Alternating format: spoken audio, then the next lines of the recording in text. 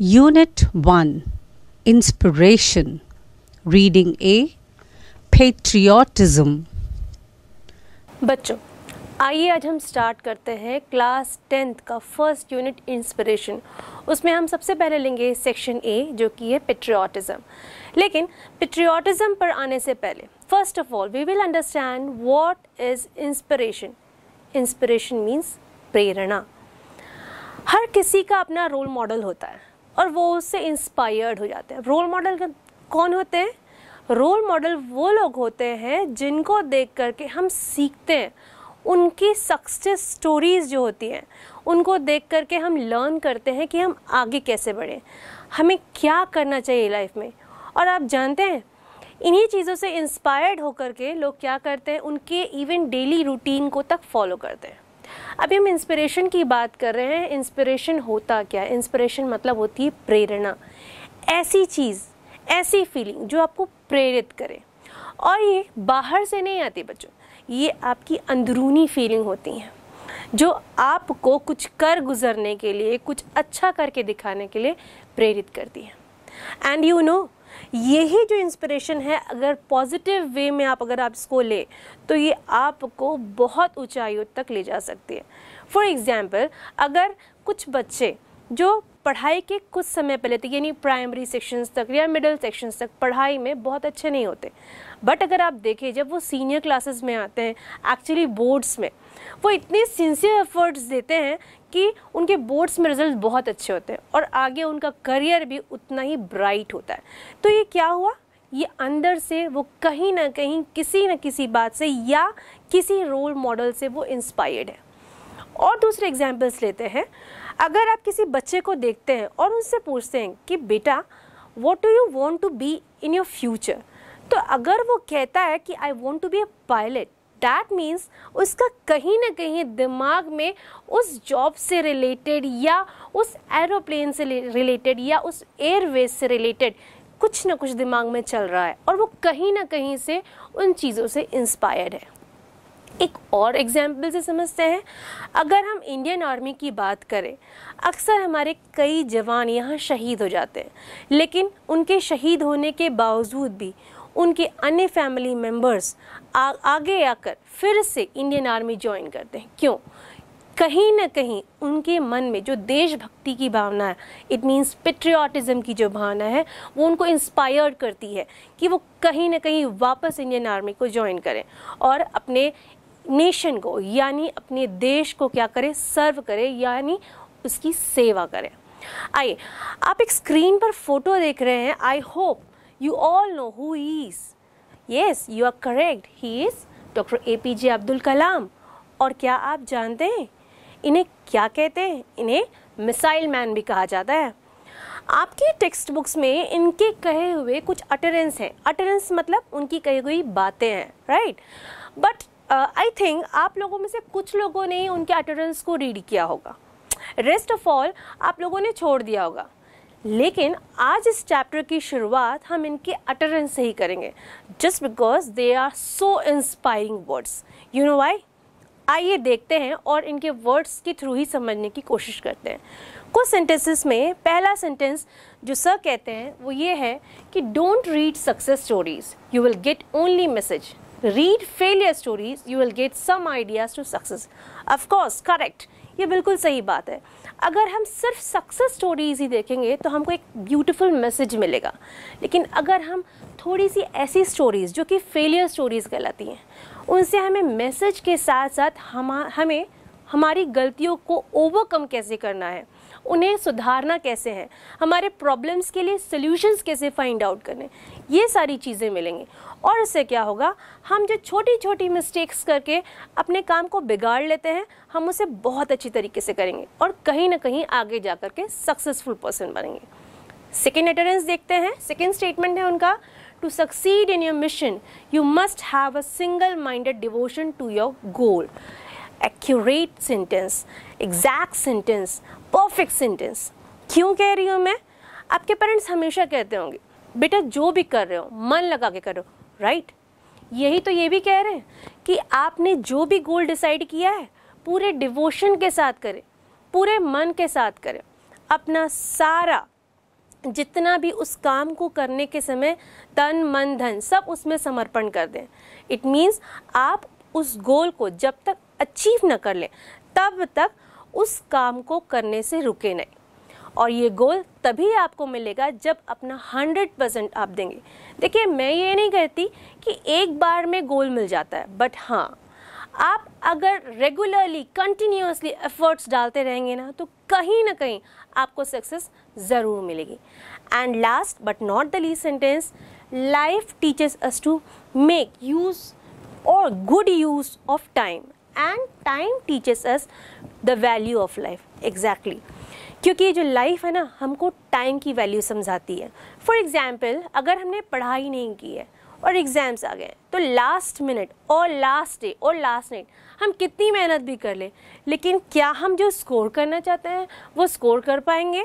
बिल्कुल नहीं। तो इसके लिए हमें क्या करना है? टाइम के साथ हमें प्रिपरेशंस करनी है राइट और ये जो टाइम है, ये हमें वैल्यू ऑफ़ लाइफ देता है। क्योंकि आपने चाइल्डहुड पोएम में पढ़ा होगा क्योंकि वो जो समय था पोएट का राइट उस पोम में पोएट का जो समय बीत गया था चाइल्डहुड बीत गया था, वो दोबारा नहीं आया। Likewise you people also enjoying your childhood right now I know that you are in adult age but still where you are enjoy your life do your work right और इसी तरीके से अपने काम को पूरा मन लगा कर करेंगे।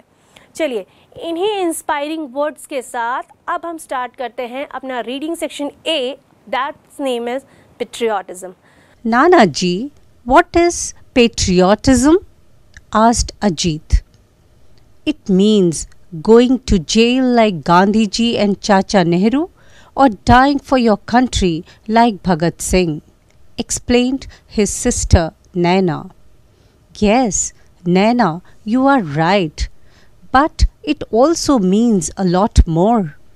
To be a patriot one need not die or go to jail. One can show one's love for one's country in many small ways, Nanaji said. How? By loving its culture and its people. Do you remember, Ajit, on 26th, after the Republic Day parade, a tune was being played? Yes, Nanaji. As soon as the tune started, you stood and continued standing till the end. Do you know what the tune was? I know, Nanaji, Nana said.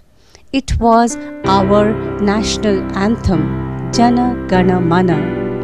Good, but do you know why I got up and stood to attention? No, Nanaji. Why? Now, patriotism. Patriotism क्या है? Patriotism means देशभक्ति.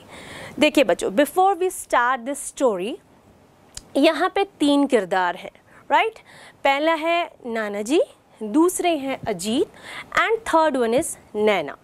Okay now Nana ji what is patriotism Ajit नाम का एक बच्चा है जो ये पूछता है कि, नाना जी व्हाट इज़ पेट्रियाटिज्म तब वहाँ पर उसकी जो सिस्टर होती है her name is Naina she says कि लाइक गांधी जी और चाचा नेहरू इन लोगों ने जिस तरीके से फॉर आवर नेशन क्या किया उन्होंने? बलिदान किया सेक्रीफाइस की अपनी लाइफ को। ये पेट्रियाटिज्म होती है। So according to that child और दोज चिल्ड्रन क्या है पेट्रियाटिज्म कि जैसे गांधी जी ने और चाचा नेहरू ने अपने देश के लिए अपने जो जान है, उसको कुर्बान कर दी राइट वो पेट्रियाटिज्म है। उस समय नाना जी का आंसर होता है। Yes of course that is patriotism but this is a part of patriotism patriotism is means a lot than this मतलब होता है इसका कि ये तो केवल पेट्रियाटिज्म का एक पार्ट है। लेकिन बच्चों पेट्रियाटिज़म जो है वो यहीं पे ख़त्म नहीं होता। पेट्रियाटिज्म और भी बहुत कुछ होता है जो मैं आपको बताऊँगा। आगे देखते हैं क्या होता है।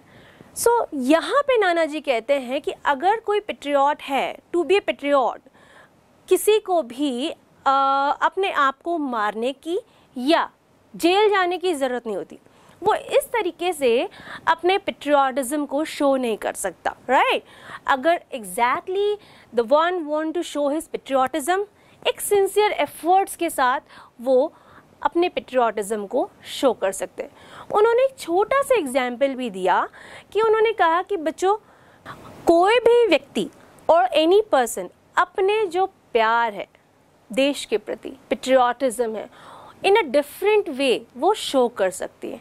Right right? तब नैना पूछती है हाउ हाउ नाना जी ये कैसे पॉसिबल है? Will you please explain us तो नाना जी कहते हैं ऑफ़ कोर्स देखिए, बच्चों by loving its culture and its people अगर हम अपने लोगों को और अपने कल्चर को प्यार करते हैं ना तो हम उसके थ्रू अपना पेट्रियाटिज्म शो कर सकते हैं. Do you remember Ajit again Nana ji question करते हैं अजीत से, कि, अजीत, क्या तुमको याद है? Twenty six after the republic day parade a tune was being played 26 जनवरी को जब पूरा फ़ंक्शन ख़त्म हो जाता है, जब परेड चलती रहती है, उसके बाद एक ट्यून प्ले होती है। क्या उस ट्यून को तुम जानते हो? तो क्या कहता है अजीत? यस नाना जी ऑफ़ कोर्स एस वो जो ट्यून है, वो ट्यून है Jana Gana Mana. Nana ji says you are right so as soon as the tune started you stood and continued standing till the end Ajit उसमें एक और चीज़ ऐड करता है। नाना जी वो जनगण मन थी। And you know I found that जब वो tune चालू हुई तब आप ही थे जो आप खड़े हो गए थे और वहाँ पे अटेंशन की पोजीशन में थे। ओके okay, अब अगेन नाना जी पूछते हैं कि वेरी गुड वेरी नाइस उनको अप्रिशिएट करते हैं बच्चों को क्योंकि उन्होंने क्या किया? बच्चों ने ऑब्ज़र्व किया अपने नाना जी को कि किस तरीके से नाना जी जो है, वो अपने इस नेशनल एंथम को रिस्पेक्ट दे रहे हैं। और बच्चों there is a lesson for you आप कभी भी जनगणमन सुनते हैं, अपने नेशनल एंथम और नेशनल सॉन्ग को सुनते हैं तो हमेशा अटेंशन पोजिशन में रहिए। आई मीन टू से अगर कोई काम कर रहे हैं तो ऑफकोर्स फॉर श्योर आप उस काम को थोड़ी देर के लिए साइड कर सकते हैं, बहुत लंबा नहीं रहता है, और थोड़ा देर के लिए अटेंशन पोजिशन में। अगर आप ड्राइव कर रहे हैं तो आप क्या कर लीजिए, अपनी गाड़ी को किनारे कर लीजिए, और थोड़ी देर के लिए उसको रोक करके अटेंशन पोजीशन में खड़े हो जाइए। क्योंकि this is the way you respect your national anthem और नेशनल सॉन्ग नाउ लेकिन उन्होंने एक और क्वेश्चन पूछा, नाना जी ने। क्या बच्चों आप जानते हैं कि मेरे अलावा वहाँ पर और कौन कौन खड़ा था उस पोजीशन में? As a mark of respect to the national anthem and unfortunately I was the only one to do so your father continue to read the paper and your mother went on with her conversation on the phone earlier in the cinema halls at the end of the movie, the national anthem was played. But it was found that the people used to leave the hall midway laughing, shouting, and creating a racket. The government then decided to stop playing of the national anthem. The reason why I gave you this example is to explain to you that a person's patriotism can be reflected in simple day to day things like his respect for his language, his nation's anthem, or flag and above all the love for his fellow countrymen. Nanaji, I still don't understand. I thought patriotism was all about dying for one's country or making a big sacrifice. Yes, beta, you're right. It is about big things, but also little ones too. And remember, it is not the battlefield alone which produces patriots. In the battlefield of life, too, you will find many martyrs. Okay, let me tell you a story which will help you understand better. Yahoo! Nanaji, tell me a story about dragons and dinosaurs, shouted Ajit. No, Ajit. I'll tell you a story about real people and their real problems, but not today. तो तुमने देखा वहाँ पे कौन कौन था जो इस पोजीशन में खड़ा था तुम्हें जानकर दुख होगा you know only me only I was there who gives the respect to our national anthem जिसने कि अपने नेशनल एंथम के लिए रिस्पेक्ट दिया। एट द सेम टाइम जो आपके पापा थे he was reading the book और न्यूज़पेपर और आपकी जो माँ थी, वो क्या कर रही थी? फ़ोन पे बात कर रही थी। So this is a part of patriotism हम ऐसे पेट्रियाटिज़म शो कर सकते हैं। One more thing I want to tell you बच्चों, कि आपने कई बार सिनेमा हॉल में जो है मूवी के स्टार्टिंग में और मूवी के एंड में। इन दो ड्यूरेशंस में जो है नेशनल एंथम को प्ले होते हुए देखा होगा। ऐसा नाना जी कहते हैं। बट यू नो कि ये रोक क्यों दिया गया? जब ये ऑब्ज़र्व किया गया गवर्नमेंट ने ये पाया कि दिस टाइम जब मूवी ख़त्म हो जाती है, उस समय जो ऑडियंस होती है it means we Indians we people are the audience yeah right उसके बाद भी हम क्या करते हैं? हम उस नेशनल एंथम के लिए, उस एक मिनट के नेशनल एंथम के लिए जो हमारा राष्ट्रगान है, उसके लिए हम खड़े नहीं हो पाते अटेंशन पोजिशन में राइट और वहाँ पे वो ऑडियंस क्या करती है? शाउट करती है लाफ करती है और वहाँ पे हँसी मज़ाक करते हुए चली जाती है। बट यू नो यहाँ पे ये जो करते हैं ना ये नेशनल एंथम का डिसरिस्पेक्ट है। सो so, जब ये ऑब्ज़र्व किया गया इंडियन गवर्नमेंट के द्वारा तो उसके बाद यहाँ पर क्या किया गया कि उन नेशनल एंथम पर रोक लगा दी गई और अब उन नेशनल एंथम को प्ले नहीं किया जाता। So here comes the one more way कि आप अपने कंट्री के साथ साथ कंट्रीमैन फेलो कंट्रीमैन को भी किस तरीके से पेट्रियाटिज़म दे सकते हैं या रिस्पेक्ट की भावना से अपने पेट्रियाटिज़म का पार्ट प्ले कर सकते again one of the child said nana ji still I am unable to understand nana ji मैं फिर से नहीं समझ पा रहा हूँ कि एक्चुअली वॉट इज़ पेट्रियाटिज़म तब नाना जी कहते हैं ओके okay, बेटा I will tell you in detail because ये जो पेट्रियाटिज़म आपने इतना बड़ा मुद्दा उठाया है ये कोई छोटा मुद्दा नहीं है। ये केवल बैटल फ़ील्ड यानी युद्ध के मैदान में ख़त्म नहीं होता। पूरी लाइफ ही इसके लिए बैटल फ़ील्ड है। और लाइफ के हर एक पल में हम पेट्रियाटिज़म शो कर सकते हैं। मैं आपको इसकी डिटेल्स जो है, इसके बारे में और ज़्यादा इन्फॉर्मेशन जो है, एक स्टोरी के थ्रू दूँगा। तब यहाँ पे जो अजीत हो जाता है, वो बहुत एक्साइटेड हो जाता है और अपने नाना जी से कहता है, यस नाना जी मुझे ना डायनासॉर्स की कहानी सुनाना या और दूसरे जानवरों की। तो वहाँ पे दादाजी कहते हैं कि नहीं, मैं आपको जो रियल हीरोज़ हैं, जो रियल लाइफ में वर्क करते हैं, मैं उन लोगों की कहानी सुनाऊँगा। एंड देन वो लोग ये भी बताते हैं कि हम जो हैं, वो रात को निकलेंगे एंड सेकेंड डे मॉर्निंग पहुँच जाएँगे। नेक्स्ट डे कुछ दिनों बाद वो लोग निकलते हैं एक गाँव के लिए। अगैन वो क्या होते हैं? एक गाँव में पहुँचते हैं। जब वो वहाँ पहुँचते हैं तो वहाँ का जो इन्वायरमेंट होता है वो अजीत और नैना के लिए थोड़ा सा अजीब सा होता है, क्योंकि वहाँ थोड़ी डस्ट रहती है, थोड़ा ऐसा सीन रहता है जैसे गाँव का सीन रहता है ना एग्जैक्टली सेम सीन रहता है। और वहाँ पे उनको थोड़ा अजीब सा महसूस होता है, क्योंकि वो शायद पहले वहाँ कभी भी नहीं आए थे। देन वॉट हैपन वहाँ पे एक व्यक्ति उन्हें लेने आते हैं और वो उनके साथ चले जाते हैं। वहाँ पर वो लोग जा कर के नैना जी and Nana ji, Naina and Ajit, वो लोग जाते हैं और अजीत वो सो क्रेज़ी और वो इतना चाहता था क्यूरियस था उन स्टोरीज़ को जानने के लिए। वो अपने नाना जी को बार बार nana ji please tell me the story tell me the story बार बार कहता है। तो नाना जी कहते हैं, बेटा don't worry I tell you the story be patience हम, मैं आपको कल वो story सुनाऊँगा।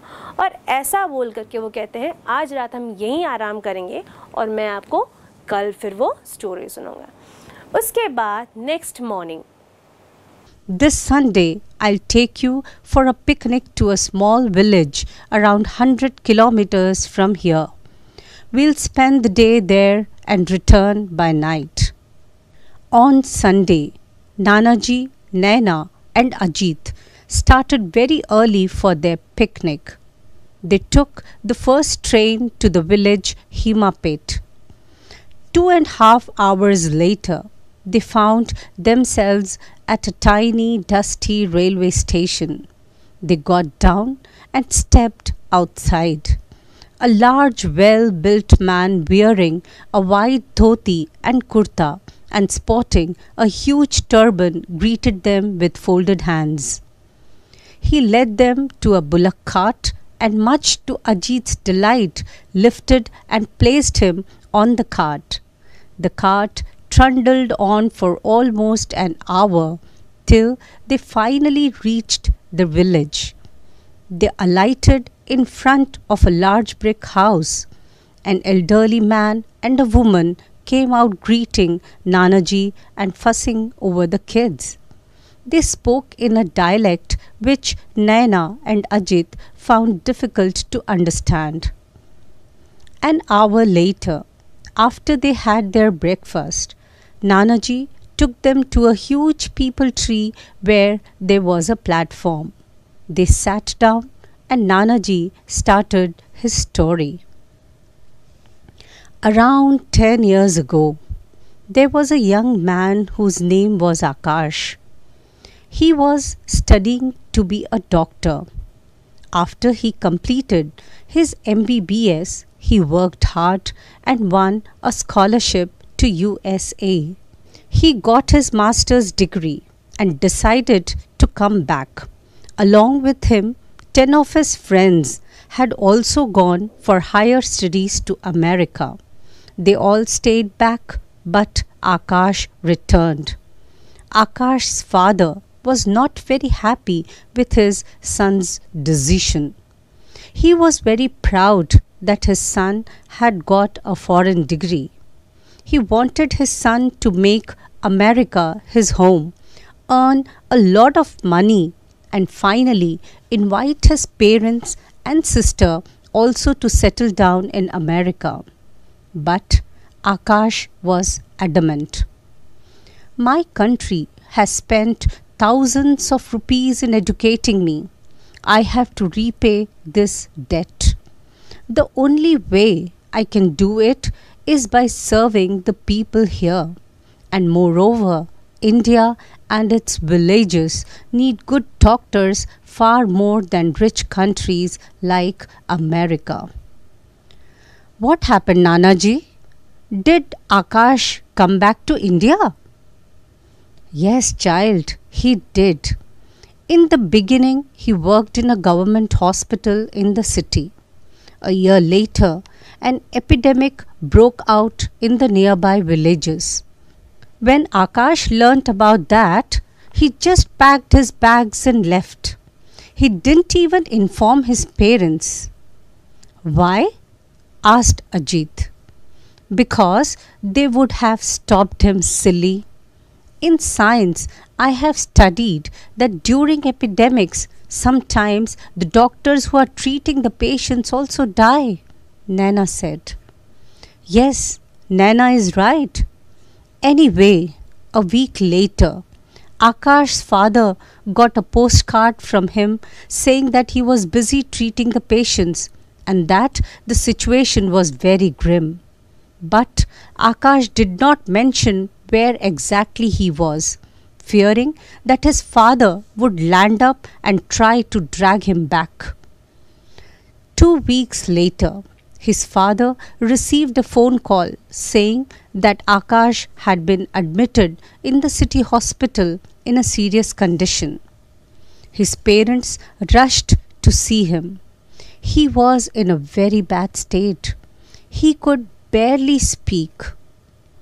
Why are you torturing yourself as well as us, son? His father asked him while his mother started sobbing. I can't help it, father. I can't bear to see people suffer. Your friends are enjoying life in America, earning lots of money and living in comfort and look at you here, fighting for your life. I can't understand what you're getting by doing all this. If you don't care about yourself, at least spare a thought for your poor mother. Just see her condition. She has gone half mad worrying about you. Father, I don't think I'll ever be able to convince you about my actions. All I can say is that I have the satisfaction that I have been able to save so many lives. Forgive me if I have tortured you, but but please try to understand that I could not help it. I can't watch people dying all around me and not do anything. जैसे कि आप story में अभी सुन रहे थे Sunday को वो लोग यानी नाना जी नैना और अजीत निकलते हैं। और कहाँ पहुँचते हैं? एक गाँव हीमपत जो कि बहुत पुराना सा और डस्टी सा एरिया था। वो लोग ट्रेन से नीचे उतरते हैं और उस एक्चुअल में, उस एरिया को देख करके अजीत का जो दिल था, वो थोड़ा डूब सा गया था। क्योंकि he was so excited for the picnic उसने सोचा था कुछ अमेजिंग सा होगा। बट यहाँ इतना पुराना डस्टी विलेज देख करके वो थोड़ा निराश हो चुका था। कुछ देर में वहाँ पे एक टॉल आदमी आता है और उसने एक सफ़ेद धोती कुर्ता हुआ पहना था और साथ में एक टर्बन भी लगाया हुआ था लाइक दिस वे राइट और वो आता है, वो नाना जी को ग्रीट करता है और उसके बाद उन सबको बुलक कार्ट तक लेके जाता है और वो लोग बुलक कार्ट में चल जाते हैं। This was the first ride of Ajit and Naina वो दोनों उसमें लिटिल बट फंसा हुआ सा महसूस कर रहे थे and the scene was awkward for them because आज तक उन लोगों ने शायद बुलक कट की सवारी नहीं की थी। After some time they reach to a brick building बहुत बड़ी बिल्डिंग में जो कि ईटों की बनी हुई थी। वहाँ से एक महिला बाहर आती है और वो बड़े ही प्यार से बच्चों को पुचकारते हुए उनको लाड़ से अंदर कर दी और नाना जी को प्रणाम कर दी राइट right, जैसे कि हम सभी इंडियन फैमिलीज़ में कल्चर में होता है जब कोई गेस्ट आता है तो हम जैसे वेलकम करते हैं in the same way she also welcomes them okay ना अब वो लोग कुछ ऐसी बातें कर रहे थे हो सकता है डायलेक्ट्स हम कह सकते हैं उनको ऐसे डायलेक्ट्स में बातें कर रहे थे शायद कोर्ट्स में बात कर रहे थे जो उन दो बच्चों को I I mean mean, Ajit and Naina को समझ नहीं आ रहा था। बट वो दोनों इन बातों को कर रहे थे। Ajit again Nana ji please मुझे कहानी सुनाइए। तब उस समय नाना जी कहते हैं, हम कल इस बात को करेंगे, अभी आप आराम करिए। नेक्स्ट मॉर्निंग ब्रेकफास्ट के बाद वो लोग जाते हैं और एक और एक पीपल ट्री के नीचे बैठ जाते हैं। आराम से बैठने के बाद नाना जी जो हैं, वो अपने स्टोरी को स्टार्ट करते हैं और एक बहुत भारी मन से अपनी स्टोरी को कहते हुए स्टार्ट करते हैं। वो कहते हैं, आकाश नाम का एक बहुत ही यंग मैन था, जो हैंडसम भी था चार्मिंग भी था। और वो जो बंदा था, वो एम वो अपने डॉक्टर की पढ़ाई जो है उसने इंडिया में कर रखी थी। और आगे M B B S complete करने के बाद उसने यूएस की स्कॉलरशिप ली। अपने डॉक्टर की फ़ील्ड में ही आगे अपनी पढ़ाई को कंटिन्यू करने के लिए उसने स्कॉलरशिप के थ्रू यूएस में जाना ठीक समझा। और इसमें वो अकेला नहीं था। उसके बहुत सारे फ्रेंड्स थे जो इस तरह के स्कॉलरशिप्स को लेकर के उसके साथ यूएस गए थे। और जैसे ही जो है आकाश यूएस जाने लगा, उनके फादर बहुत खुश हो गए थे। ऐसा नाना जी बताते हैं। क्योंकि उनको ऐसा लगता था कि अब आकाश ने वापस नहीं आना चाहिए। आकाश ने वहीं अपनी स्टडी कंटिन्यू करने के बाद, अपनी प्रैक्टिस भी वहीं कंटिन्यू करनी चाहिए। और वहाँ बहुत सारा पैसा कमाना चाहिए और उसके बाद अपने जो फैमिली मेंबर्स हैं like his father his mother और भी कई लोग होंगे, उन सबको वहाँ ले जा करके सेटल कर देना चाहिए। बट आकाश जो था, उसकी जो थिंकिंग थी it is little bit different from his father because he thinks कि जो नेशन है, उसने नेशन ने उसकी पढ़ाई के लिए, उसकी स्टडीज़ के लिए इतने एक्सपेंसेस बियर किए हैं। तो नाउ इट्स हिज टाइम अब ये उसका समय है कि वो नेशन को सर्व करेगा। अब ये उसका समय है कि जो चीज़ वो यूएस से ला रहा है, वो यूएस के लोगों को नहीं देगा, वो अपने नेशन के लोगों को देगा। जो extraordinary education qualification techniques वो सीख के आ रहा है, वहाँ के लोगों के पास तो ऑलरेडी है बट हमारे देश के पास जो अभी इन चीज़ों की कमी है, जिसके लिए मैं वहाँ गया था। अब ये सारी चीज़ें मैं वहाँ से सीख के आकर के क्या करूँगा? अपने देश को सर्व करूँगा। तो वो क्या होता है? ये सोचता है, और वो एडमेंट था। एडमेंट था मतलब अपनी सोच के लिए अटल था। नाना जी इतना कहते हैं, रुक जाते। तभी अजीत पूछता है, nana ji does he come back ये क्वेश्चन थोड़ा सा कॉम्प्लिकेटेड था, क्योंकि यहाँ दो ऑप्शंस थे। कि पापा का कहना मानना ज़रूरी है या फिर अपने लिए हुए डिसीजंस पे चलना ज़रूरी है। देखिए, आप कुछ मुद्दे सिचुएशंस ऐसी आती हैं, मैं ये नहीं कहती अपने बड़ों की बात ना माने, लेकिन एक स्टैंड लेना, क्या चीज़ें सही हैं वो चीज़ों को समझना और उसके बाद डिसाइड करना सही होता। अब यहाँ क्या सही था, क्या गलत I can't explain but Akash का जो पर्सपेक्टिव था, जो थॉट्स थे, वो उसने एक्सेप्ट किए और उसने उसी के साथ कंटिन्यू किया और he returns back to India finally he comes back to India और इस वजह से उनके पापा और उनके बीच थोड़ी सी प्रॉब्लम शुरू हो गए ही वॉज़ नॉट एक्सेप्टिंग कि उनका बेटा जो इतनी दूर गया था पढ़ने, और उनके साथी भी सारे गए थे, वो तो कोई वापस नहीं आया, बस मेरा ही बेटा वापस आ गया। इस चीज़ को देख करके वो बहुत दुखी थे। नाउ वॉट हैपन यहाँ भारत, यानी इंडिया वापस आकर आकाश क्या करता है? आकाश जो है, एक गवर्नमेंट हॉस्पिटल ज्वाइन करता है, और वहाँ पेशेंट्स को सर्व करना शुरू करता, उन पर अपनी प्रैक्टिस शुरू करता। कुछ समय बाद उसे पता चलता है कि एक एपिडेमिक आई हुई है। एपिडेमिक क्या होता है बच्चों? जैसे अभी कोविड आया था, अचानक से कोई ऐसी डिसीज स्प्रेड हो जाती है, जो कि बहुत घातक होती है, जानलेवा होती है। तभी वहाँ पे अजीत पूछता है कि नाना जी एपिडेमिक तो ऐसी चीज़ होती है या ऐसे डिज़ास्टर्स डिसीज़ होते हैं जहाँ पे कई सारे डॉक्टर्स भी इन्फेक्टेड होते हैं एंड बिकॉज़ ऑफ़ दैट कई बार उनकी भी डेथ हो जाती है। तो वहाँ पे नाना जी कहते हैं यू आर राइट सन लेकिन फिर भी आकाश ने यही जॉब एक्सेप्ट किया और उसने अपने पेरेंट्स को बिना इन्फॉर्म किए, वहाँ से वो चुपचाप ही ही पैक्ड हिज बैग्स और जल्दी से वो वहाँ से उस गाँव के लिए निकल गया जहाँ पे एपिडेमिक आई हुई थी। जब उनके पेरेंट्स को पता चला तो वो काफ़ी निराश थे। ना वट इज़ द रीज़न कि उसने अपने पेरेंट्स को क्यों नहीं बताया था? सी बीइंग अ पेरेंट हर पेरेंट चाहता है कि हमारा बच्चा सेफ़ हो, उसके जीवन में कोई कष्ट ना आए right in the same way उनके पेरेंट भी सोच रहे थे। तो कहीं ना कहीं उनके पेरेंट्स जो थे, उनका प्यार जो था, वो उस बच्चे को, यानी आकाश को रोक लेता, उसके कर्तव्य, यानी उसके जो सर्विंग्स थे वो देना चाहता था, उनके सर्विंग्स को देने से।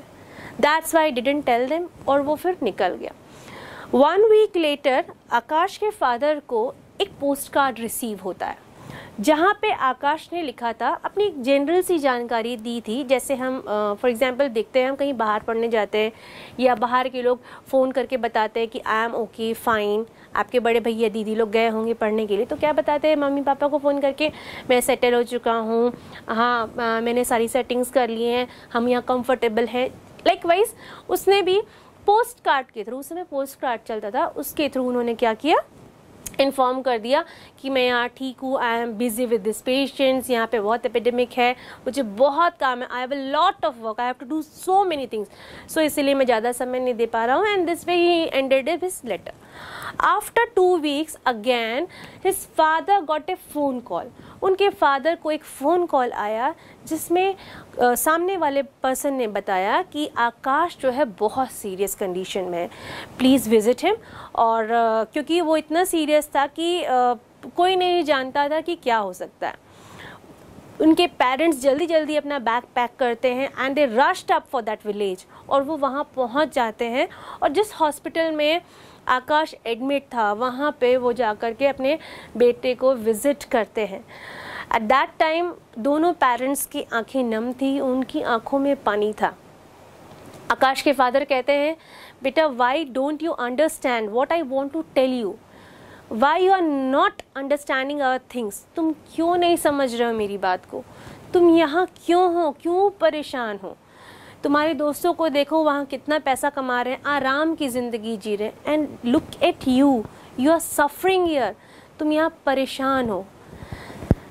आकाश बहुत ही दबी हुई, थकी सी आवाज़ में कहता है, पापा I am not able to convince you and I know that I can't convince you मतलब पापा, मैं आपको कन्विंस नहीं कर सकता।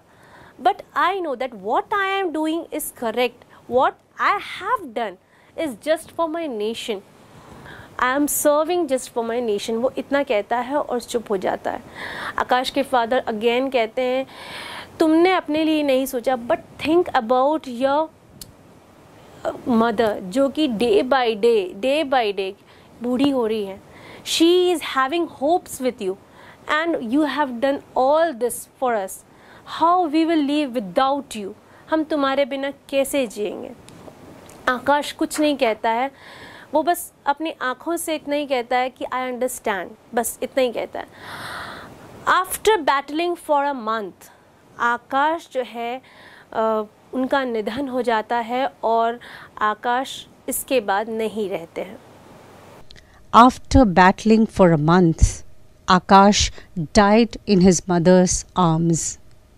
The entire village was there at his cremation, and there was not even one eye which was dry. The villagers decided to pay homage to Akash. They launched a drive to collect donations for building a small hospital in the village. They approached the local MLA who agreed to organize a hefty donation, thinking that the hospital would be named after him. However, the villagers were adamant. They took the money, built the hospital, and called Akash's parents for the opening ceremony. Akash's father inaugurated the hospital. Come, I want to show you something, Nanaji said, and taking their hands in his, he led them to a building a few hundred meters behind the peepal tree. They stopped in front of a blue board. Naina, please read what is written. Akash Memorial Hospital in memory of Dr. Akash Rai, who saved this village from death. Naina looked at her grandfather. His eyes were wet with tears. Nanaji, Akash Rai, but your surname is also Rai. Was he your? Yes, my child. He was my son, your mother's elder brother.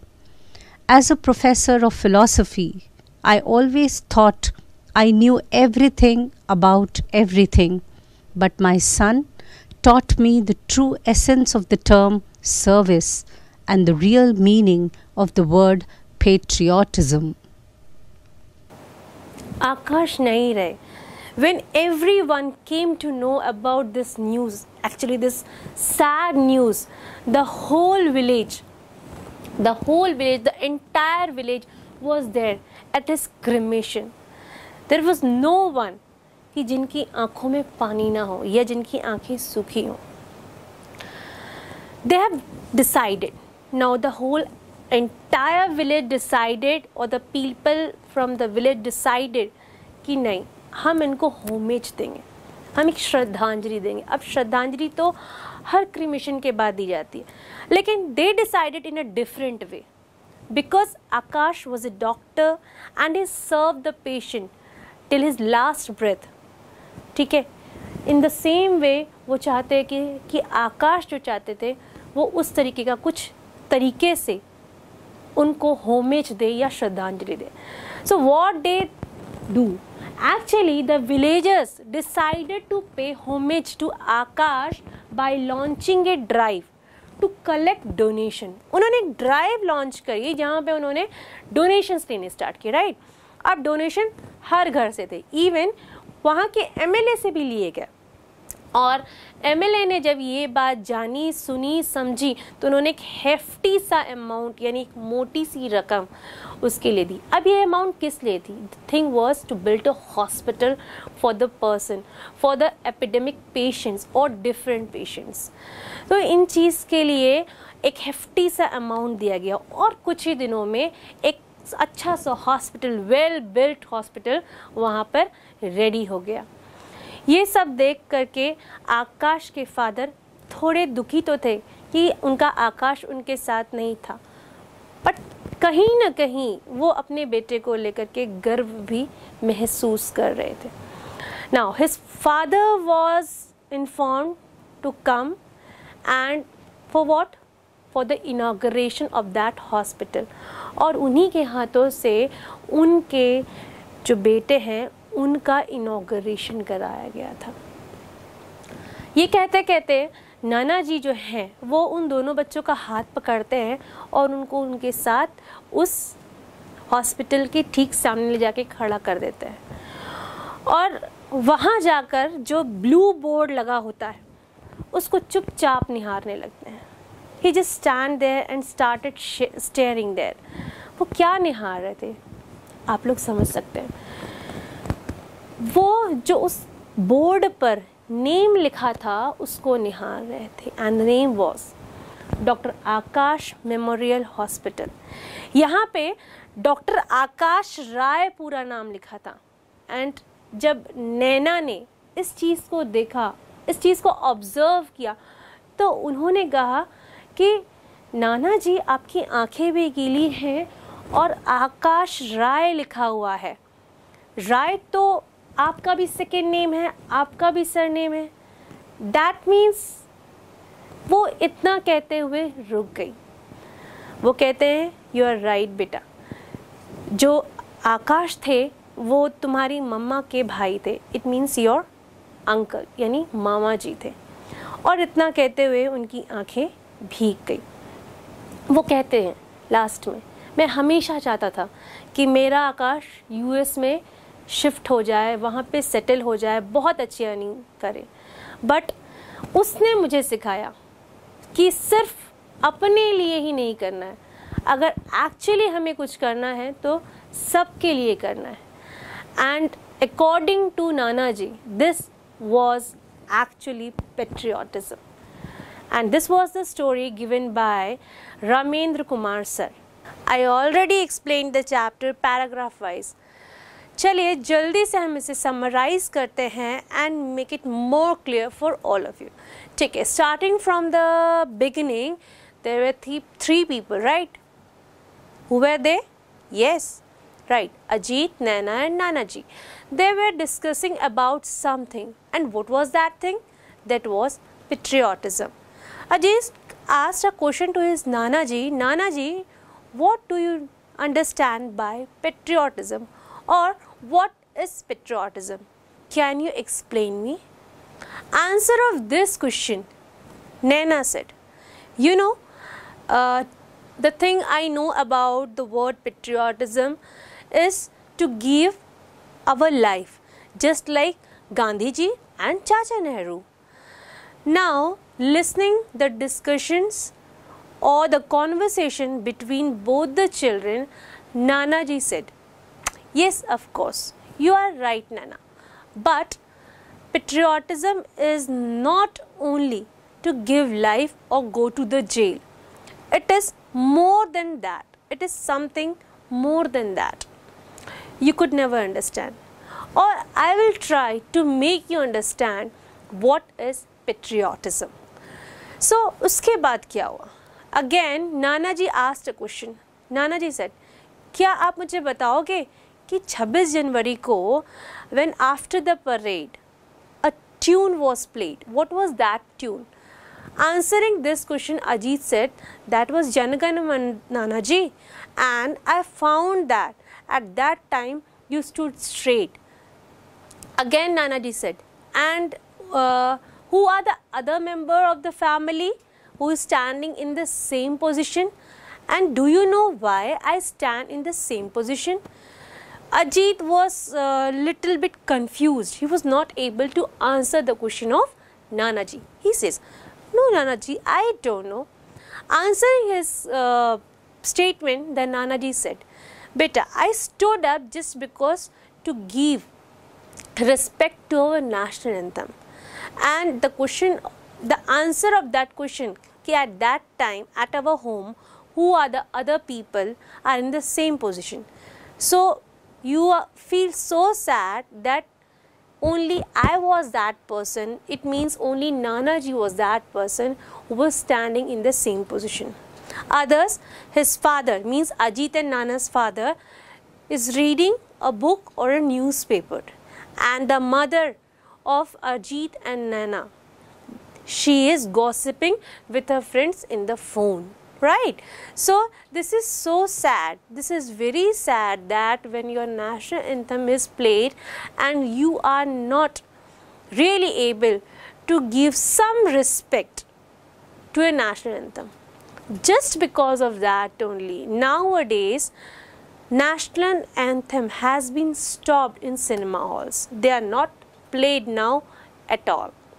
Just because of this reason only. Because what people do what audience do they just see the cinema they just look uh, they just saw the cinema and then they move on. When they find also that the national anthem is going on then also they are not having any kind of respect towards their national anthem. They just talk with each other they they just walk they will have fun they will do different kind of activity. They will not but just they are not able to stand properly in attention position. Then nanaji added on. Again ajit said nanaji still i am not able to understand what you want to say. Will you please explain me so Nanaji said, Yes, beta, of course I will explain you because the patriotism topic you have asked or the word you asked about is not a thing or not a toy or not a kind of thing that a normal person can feel. A simple man can feel or lay man can understand. For that, one must have respect toward his country. Then a person can understand what is patriotism. Right. Now what happened? Ajit said, okay, wow. So what about it now? Nanaji said, I will tell you a story. Ajit was so excited hearing this. He says, No, Nanaji, yes, yes, you did a great, you are doing, sorry, you are doing a great job. Now, please tell us the stories of dinosaurs or big animals. At that point, Nanaji says, No, I will not tell you the story of dinosaurs. Other than this, I will tell you the story of real heroes. So he says, again, sorry, he asked, means Ajit asked, Ki, when did, when are you going to tell us about the story? He told him that uh, on Sunday we will, we will move towards our village and then only I will tell you the story. Okay, the thing will settle down on Sunday uh, they moved towards their uh, village. After two and a half uh, hours of journey they reached a place village kind of place. There is a lot of dust there uh, looking at these things the village area. Ajit was not that much happy because uh, I think that he might be coming there for the first time. That's why he was feeling little bit bad uh, at the time he came to the village. Uh, there a person with dhoti kurta, wearing dhoti kurta and a big turban on his head, he came and greeted Nanaji and took them to the village in his bullock cart. Right. There when they came to a building with a that was a brick building big building a lady came out from that building. She also greeted nanaji and she first over the children. First over means she gave a lot of love to them. And they talk in a coding language about something in which the children were not able to understand. Now ajit says nanaji now we are in the village. Will you please tell me or please tell us the story? What were you going to tell us Nanaji said, Okay, relax. After taking breakfast, I will tell you the story. After taking breakfast, they went to a peepal tree. Under the tree, they sat down and relaxed themselves, and from there, Nanaji started their story. Nanaji said, There was a man, a young man, a young handsome man named Akash. He was a MBBS student and after completing MBBS from India, he got a scholarship for his further studies in USA. For that, he went to USA. And he was not only the person from India who go for further studies in USA. There are many more children and even the friends of Akash who went with him also. There they completed their degrees and the others settled down. But the Akash was the one who came back to India. Akash's father was not that much happy by seeing his son back to India. He was thinking that Akash must settle down, earn a lot of money, and he must call their parents as well as his siblings to settle down there. But Akash was adamant and he knows what he wants to do. His thinking was all about to serve his nation. He told his father that Papa, that Bauji, what I took from my land, this land has given me a lot. This land had uh, spent so much of money on me. So this is my time to serve the land. And he settled down everything. His father is not happy at all. One day he write a letter and he rushed up for a government job. Now from there, uh, after working one to two months there, he came to know that uh, there is a village who grab under a epidemic under an epidemic so he rushed he quickly packed his, his bag and wrote a note for his father that father just because of some emergencies i am going to such and such village now, he didn't tell him that there is an epidemic there. Why? Just because he knows that each and every parents want to uh, save his child and want that his child should be in the safe place. So in that case, he didn't uh, tell his father or his mother, and he started working there. After a few days, uh, uh Nanaji, uh, sorry, Nanaji, after a few days, his father uh, got a postcard in which Akash has written that he is busy in, in uh, practicing with patients and checking them uh, all up and uh, he is busy in his working and uh, and that is done from his side after two weeks uh, the father got a phone call it is from such hos it is from some hospital the receptionist told him that uh, Dr. Akash is in a bad condition, he is not in a good condition, please come and visit him. The parents are shocked by listening this. They just quickly wrap they just quickly pack their bags and rush toward the village and the hospital. When they reached the hospital, they saw their child on the bed. They were so shocked though they were so impatient they were in so pain they came near the akash and sit beside him and sat beside him. The father started saying why don't you understand my son why are you torturing yourself why are you torturing us look at your friends they are settled in usa and their life is so easy and look at yourself. You are suffering here. Why you are not able to understand us? At that time, Akash said this much Bauji, I am not able to convince you. Even though I know that what I am doing or what I have done is correct, but then also I am not able to convince you.